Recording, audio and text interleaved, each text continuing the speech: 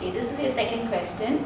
Can you identify the joint line of the sternoclavicular joint on the skeleton and on the model?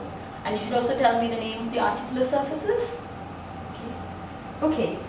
All right, Julie, what I'd like to do now is just to have a feel around your uh, sternum and your collarbone. Is that okay? So what I'd like to do is put your hand again into that position.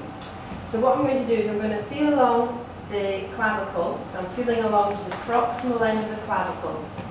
And the sternoclavicular joint is between the um, proximal end of the clavicle and the superior lateral edge of the manubrium sterni. And the joint line is concave laterally for about one centimetre long. So it sits just in there. Um, if I show you on the skeleton now, so the joint line is just here between the proximal end of the clavicle, clavicle and the manubrium sternum there. Okay.